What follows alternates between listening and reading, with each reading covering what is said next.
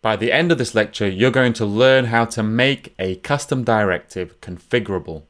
Now in the last lecture, we finished off our CC card hover directive, but it's not very reusable. We now want to be able to configure it so that it can be used in other situations.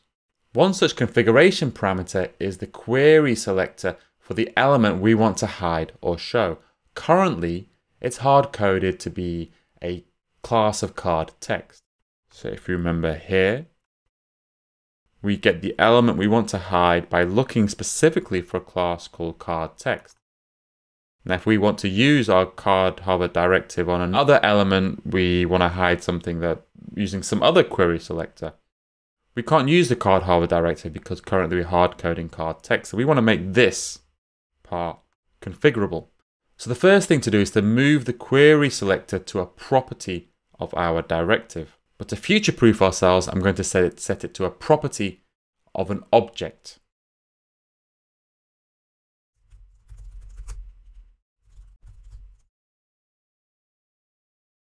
So I've created a property called config, which has one property called query selector, and that's using our old class name.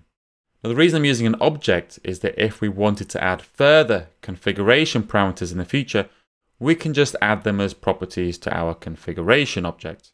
So next up, let's use this config object instead of our hard-coded selector. So here, we use this.config.query selector. And then let's use it in both functions.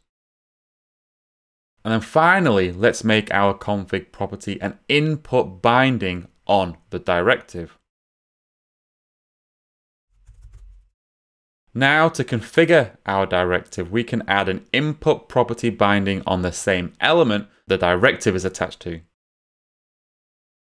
So on this div element here, where we added our CC card hover directive, I'm going to bind to the input property name configuration. So I'm going to type config, and then I'm going to wrap it in square brackets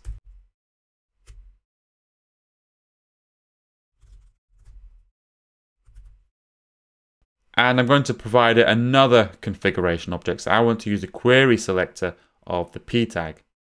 Actually, I made a little bit of a mistake. So on line 49, there should be an equals here. And now let's run the application again.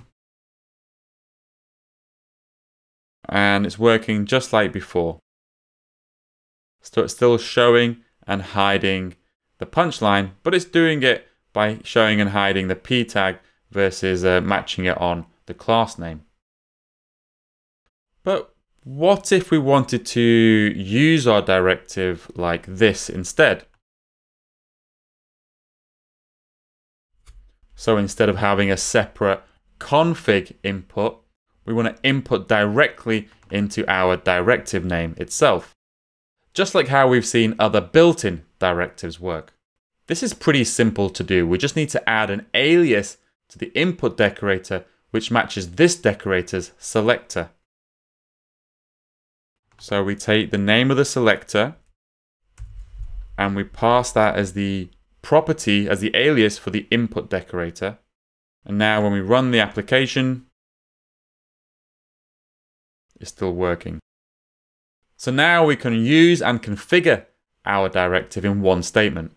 In summary, we can configure our directives with standard input property bindings. And to make the syntax look similar to the built-in directives, we can use an alias for the input decorator to match the directives selector.